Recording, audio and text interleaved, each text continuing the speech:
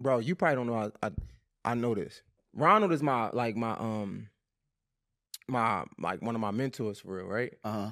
And he told me the My guy. story when he first like kind of met you and y'all was about to work. Mm-hmm. He said, I guess he had actual question like, "Bro, are you in the streets?" Mm-hmm. And you was like, "Nah, Mm-hmm. not." Uh huh. But like everything about you says in the streets. Cause who f- is you the police?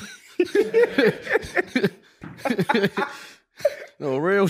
No, like what? Yeah. So, but you, but he said like, "Nah," and he started working with you, and he seen that you was you was real though. You was Mhm. talking like you was telling the truth. Mhm. But so many rappers are still got one foot in and one foot out because they trying to get the money to do this. Yeah. You are somebody that's completely legit now. Like Mhm. we see. Right. I was I was just curious just from a, a that that motivation to the young rappers. Like, Mm-hmm. how important was that for you to get out, to get all the way out the streets and have and, and be focused strictly on his music?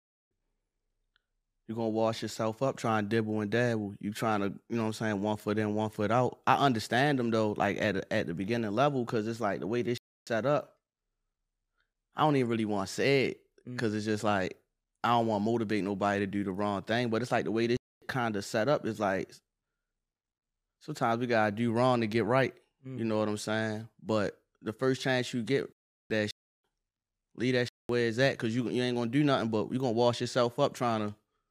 Let me ask you this then, because I like what you just said. Like, I don't want to motivate to do wrong, but if it's a, because we only could talk to who we could talk to. If it's a that's trying to do right, hmm but he feel like he don't have no choice, he still gotta be in the streets to get the money or whatever. Everybody always had his exit plan, but they, they, it's like they take their Like how you gonna How do fund your music? How the, how you gonna fund your music career working at McDonald's? It's hard as, f- Mm. but I guess it can. you- I guess you can do it. That's not. I don't. I don't really understand it from that lane because I. That's not my. You know what I'm saying? Mhm. How do you get that? How do you get to a level where you can stop though? Like how? What if you had to give advice to, to to stop? How do you get there? Just believe in yourself.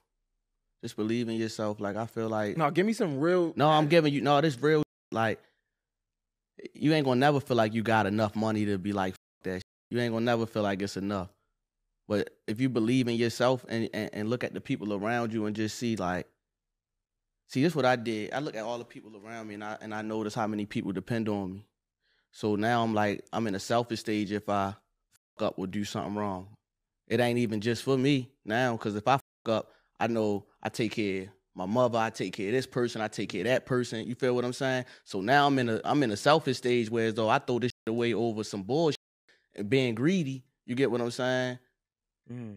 So just look at all the people who No, I see that, eh, but I'm just still trying to play devil's advocate because some feel like I mean that's really paying the bills. I can't quit. Like this music ain't bringing enough money for me to pay my bills. you gotta bite down. You gotta go at this. You gotta go at this. That's what I did. I went at this shit, like, and it just like I. But at the end of the day, like like I said, it's God timing. It just worked out for me. Like that, shit, it happened for me. Mm. Whereas I started getting booked for shows, I started making money off streams, but it don't happen for everybody. Mm. It don't happen for everybody, and that's just the sad truth. Knowing that though, right, and knowing you came from that, that. Like it's a billion people trying to do the same exact thing. mm-hmm. Everybody can't get it. Majority can't get it. Mm. Like how many people can really be successful rappers? Not even just like I'm talking about just make enough money off of rap to feed their family. Most it don't it don't happen for most people. You know what I'm saying? Mm.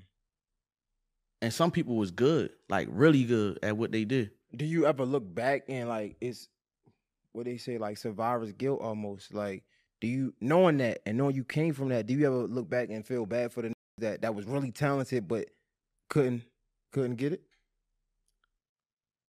Now that you say that, Especially the people we know or people come from. I definitely cities. look. I definitely look back at some people like, damn, I wish he could have caught his break like Mm. fire. You know what I'm saying? And the thing with this, you can't make nobody catch their break. You can do a feature with them. You can do anything. That don't matter. Mm. That should be. It's a higher power. That ain't. It don't got nothing to do with us. I know you know some artists in the city where you like, man, this he crazy. Like, Hell yeah! it's a lot of them. Shout out to my guy Mike Even. I'm a, every time I get a chance, I I, I use this platform to, to to to highlight them. What's his name? Mike Even.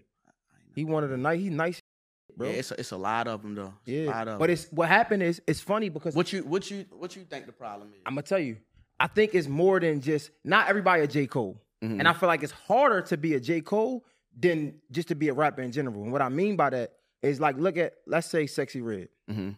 Me, per, I don't think she's the most talented, but she got the package. Like she know what to say, she know her demographic, she know how to say it to get to get their attention. Mhm.